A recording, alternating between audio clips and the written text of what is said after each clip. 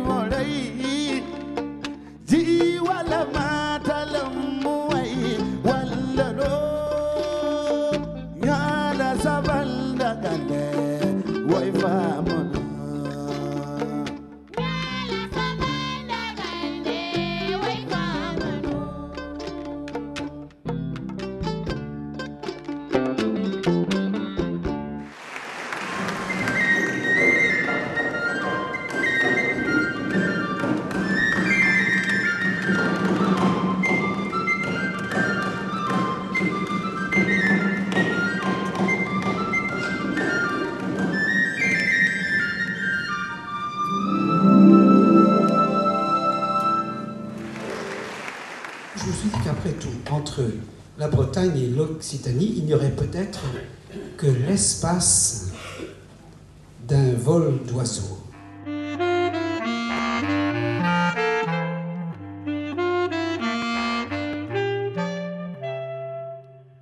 Camarade fidèle, camarade caret, wie de Germaine Neinket, wie de Germaine Neinket, wie de Germaine Neinket, منقوريا من وقاسيت لما زات ماما دوجلت لما زات ماما دوجلت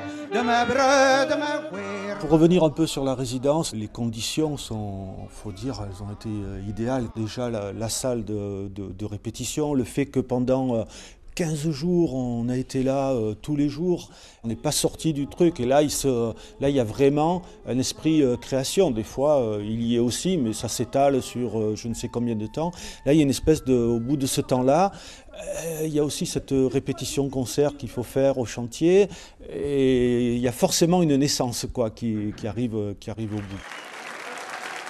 Tinanapoum, c'est devenu, à force, à force qu'on le joue, c'est devenu le nom d'un groupe constitué des mandoministes, des tubistes et des chanteurs. Ça s'appelle partout maintenant un. Et voilà, donc qu'est-ce que tu veux pour mon anniversaire? Je voudrais bien un Chinanapoum qui fasse l'ambiance.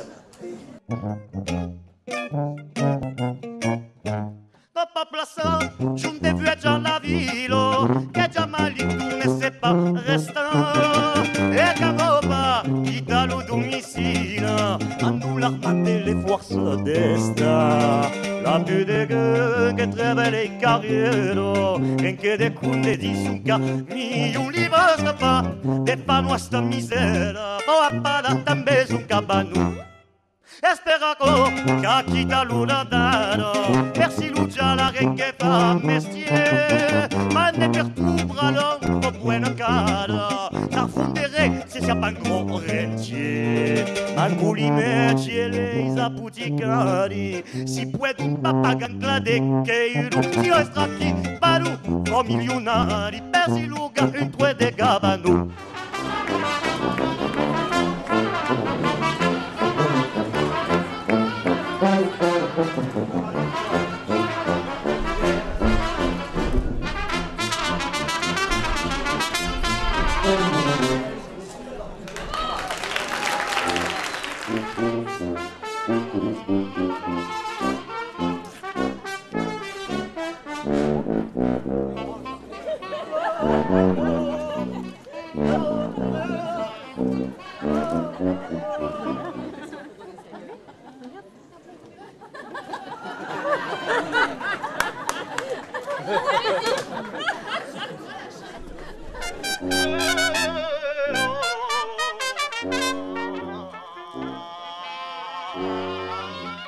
Présente donc au chantier euh, Musique et chant en Occitanie, création et tradition en Pays d'Oc. C'est un livre qui m'a été euh, commandé, enfin commandé, suscité par le chantier. Dans ce livre, j'ai fait le portrait de 36 musiciens et je raconte un peu leur généalogie intellectuelle. D'ailleurs, j'ai regardé un petit peu dans leurs œuvres, dans ce qu'ils avaient fait, et je, prends, euh, je prends un fil et je tire sur un fil, partant du principe, c'est mon point de vue, qu'un artiste a toujours une ou deux obsessions majeures.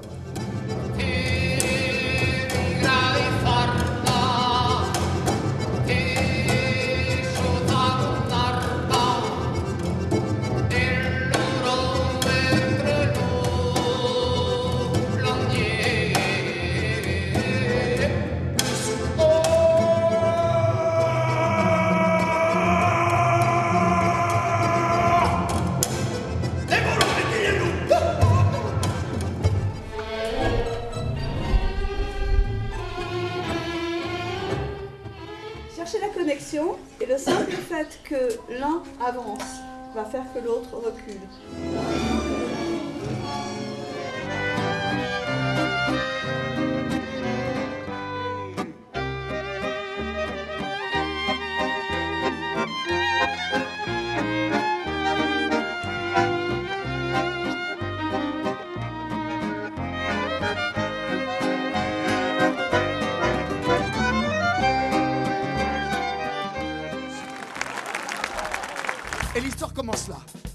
Ce moment-là, tout d'un coup, on commence à sentir le chaud. La température monte. Les thermomètres sont en train de péter par le haut. Comment que je fais On sent le chaud Qu'est-ce qui se passe? Il y a les étoiles qui s'arrêtent dans le ciel. Bon non, t'inquiète pas. Et pas la terre qui bloque, c'est toi qui débloque. C'est dit qu'il y a les freins qui sont pris, les cheveux dans les. La comète qui qui a les cheveux pris dans les freins, et donc il y a les bigoudis pris dans le surplis. Qu'est-ce qui se passe? Allô, allô, la météo? C'est dit qu'il y a de la merde dans le tuyau. Allô, allô, la météo? C'est le bordel!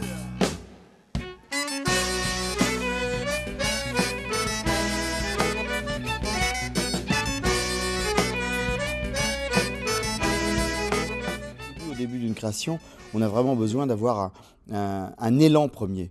Et la résidence là, à Corrence, pour nous, c'était vraiment l'élan premier. En plus, là, il y a eu les rencontres avec les gens, à la fois avec les enfants. On a pu vérifier qu'au moins, si on n'intéressait pas les adultes, on pouvait intéresser les enfants. Et puis revenir là après pour les joutes, c'est aussi une manière de faire voir aux gens le processus de création. Parce le spectacle, quand on le voit fini, on se dit Ah, c'est formidable, hein, ça a l'air tellement facile. Et puis en fin de compte, on voit bien qu'il y a des étapes de création et qui sont laborieuses.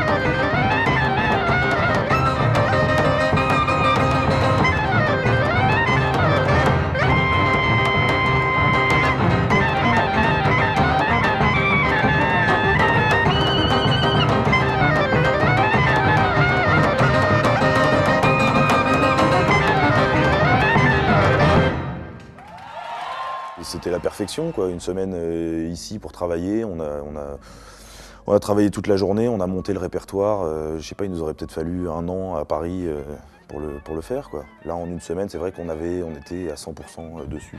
Pour tout musicien, d'être dans cette nature, dans ces, dans ces locaux forts, et donc d'être dans une détente totale, pour pouvoir travailler euh, à toute heure du jour et de la nuit. C'est des conditions tout à fait idéales. Et surtout pour nous qui, se- qui sommes parisiens, et avec cette vie urbaine qui est dure, euh, dure pour le regard, dure pour les oreilles, c'est le moment où on peut vraiment faire de la musique euh, au, au plus profond.